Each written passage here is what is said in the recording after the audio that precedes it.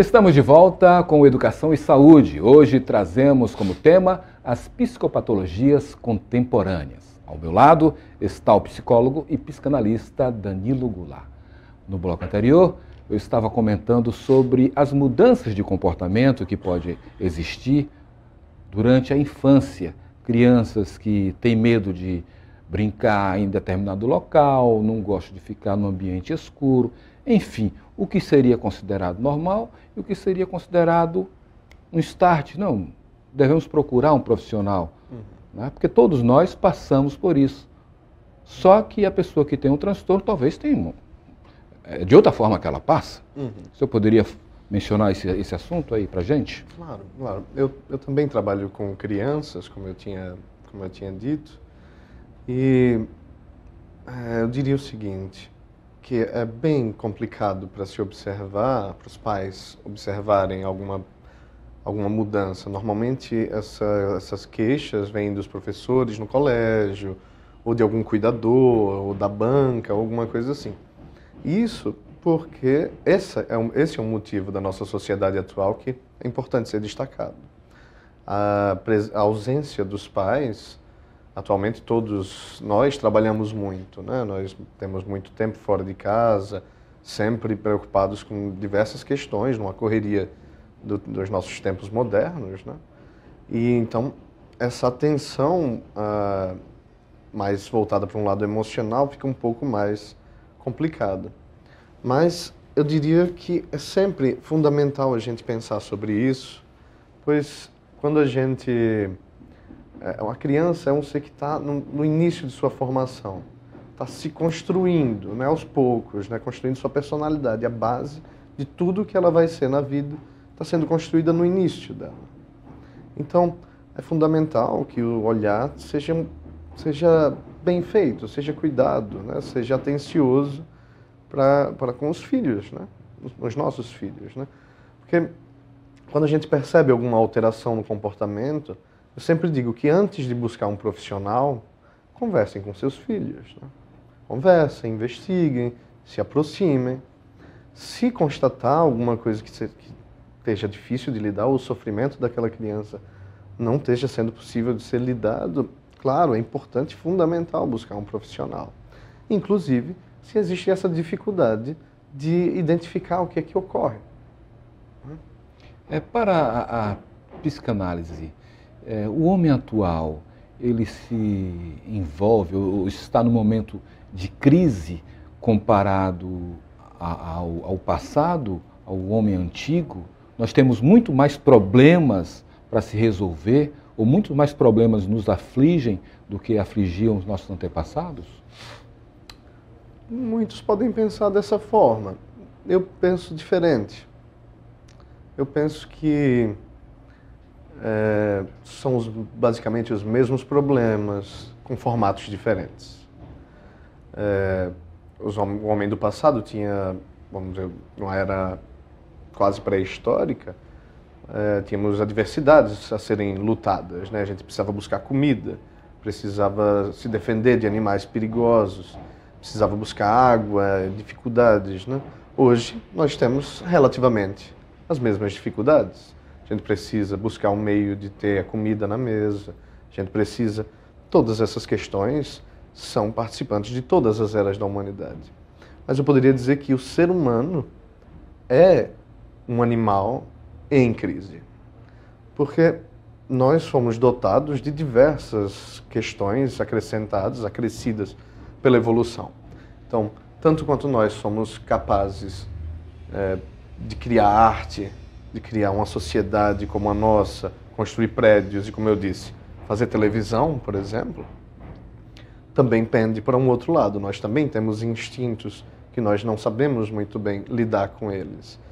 E esses instintos básicos que nós trazemos de toda a nossa história são presentes hoje, ainda na nossa vida.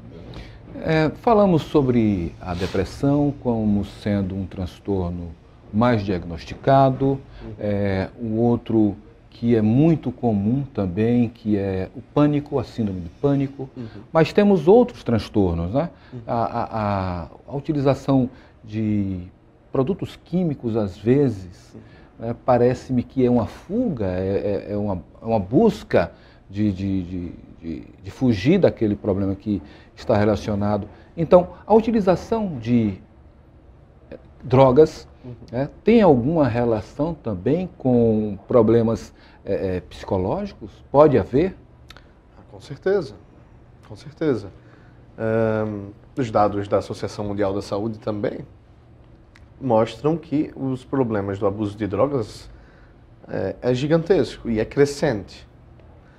Quando a gente fala sobre isso, acho que isso é muito importante frisar.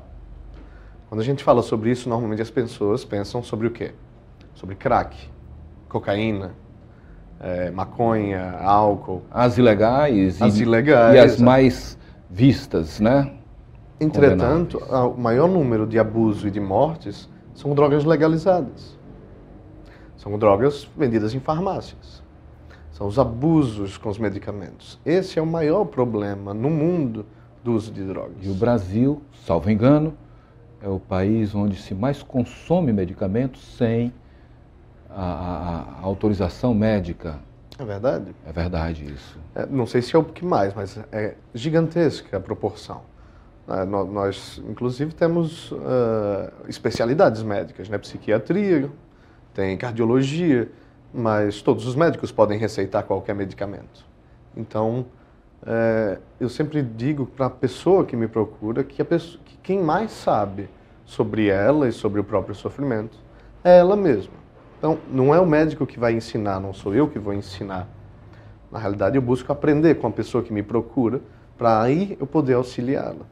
Então, é, a gente precisa pensar muito bem sobre a forma que a gente utiliza tanto as drogas quanto qualquer coisa na vida da gente. Isso então é algo que deve ser observado como uma política pública, né? Uma política de saúde pública, né? Que os organismos, as instituições responsáveis, uhum. né? deveriam ter mais atenção ou muito mais atenção do que tem hoje para haver não só o controle, uhum. mas também a informação. Porque não se deve, antes de proibir, né, uhum. tem que ser informado o indivíduo. Né? Qual é a, o, quais os motivos daquela proibição. E é a preservação da própria vida daquele usuário. Exatamente. Por isso que eu estou tentando frisar a responsabilidade da própria pessoa que procura ajuda, por exemplo. Uh, muitas vezes, como como a gente conversou um pouco antes, a pessoa busca um alívio do sofrimento que tem na vida. Eu costumo pensar que só não sofre quem não está vivo. Então, é, no meu trabalho, que eu posso fazer é tentar auxiliar a pessoa a buscar uma maneira de lidar melhor com os sofrimentos que virão. Porque o que a gente vê, a gente pode pensar, né? O, uh, políticas públicas, o aumento, ou restrições, ou proibições, mas também tem que pensar que são as próprias pessoas que buscam por isso, né? Tem, uh, muitas vezes eu vejo que a pessoa tem uma dificuldade muito grande em poder pensar sobre as próprias questões da vida. E a escolha mais fácil é uma droga, seja ela legal ou não. Desculpe o, a, a, forma grosseira que eu, que eu quero me expressar para quem está em casa, o psicanalista ele, ele ajuda é, é, o indivíduo a descobrir os caminhos que muitas vezes estão ali e ele não enxerga. Tem essa participação também de orientar e de mostrar as portas que a vida nos oferece ou que os problemas existem uhum. e podemos resolver de inúmeras maneiras. Uhum. E cabe à pessoa descobrir a sua própria porta. Acredito que é uma metáfora interessante. sim, sim. A, a, é, esse transtorno, ou essa síndrome de borderline, é, é assim que se fala?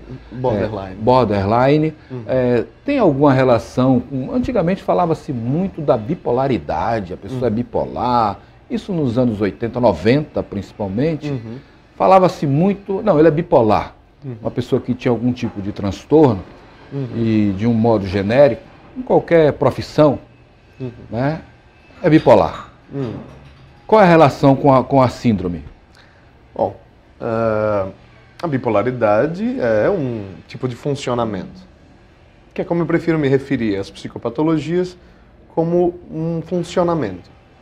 É foi o funcionamento que aquele, aquela pessoa conseguiu para suportar as dificuldades da vida. Porque muitas vezes a gente pensa como um problema, né? É, o sintoma ou a patologia é um problema. Eu, eu entendo por que, que a gente pensa assim, né? Porque é um sofrimento. Mas eu tenho a tendência a pensar que, na realidade, é, a patologia, como se chama, ou os sintomas, eles são a melhor alternativa que foi possível para aquele corpo, para aquela pessoa. Ou seja, é, não é o que ela gostaria que fosse, mas é o que é possível. Então, a gente não, não gostaria de sofrer, mas faz parte da vida. Então, a gente vai ter que passar por diversas coisas tentando lidar com elas da melhor forma que a gente pode. Enquanto o, a, a, relação entre bipolaridade e o borderline são bem distintos. Bem distintos. Borderline, como a própria palavra de origem inglesa diz, é uma pessoa com funcionamento no meio de, uma, de, de dois tipos de, de personalidades. Enquanto a bipolaridade ela fica uma, é uma oscilação.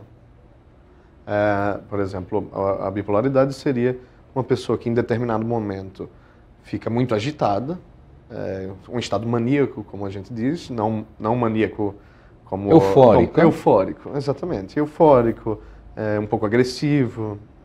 E, e num outro determinado momento vem um estado depressivo. Né? Na, no borderline já é diferente. É, um, é complexo de explicar, mas é uma pessoa que tem uma, um funcionamento bem complicado, bem difícil, com um sofrimento muito intenso, é, quase beirando um estado de psicose. Nossa, só um profissional é capaz de identificar. E não é de cara que se vê isso. Vocês têm um acompanhamento, não é? Porque às vezes você olha para uma pessoa e diz, não, aquela perna está quebrada porque a perna está com a quebra, está exposta ali a fratura. Sim. Né? Hum. Mas no seu ramo, na sua ciência, tem que ter um acompanhamento e um, uma descoberta né, contínua.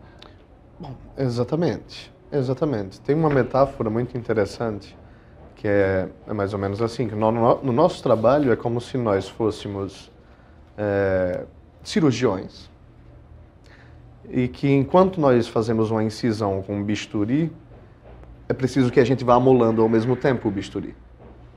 Então, é por isso que eu sempre tento evitar diagnósticos ou é, esse tipo de, de, de trabalho dessa forma, porque a pessoa só é o que ela é naquele momento. Eu não sei se daqui a um minuto como é que essa pessoa vai ser, como é que ela vai estar. Então, é, é um trabalho de contínua construção e desconstrução. E não tem validade, né? Parece-me que pessoas têm acompanhamento de uma ou uma psicoterapia, uma psicanálise durante anos, uhum. muitos até durante a própria existência.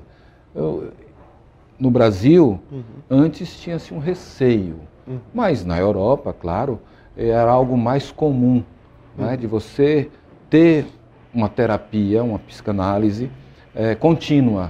Né?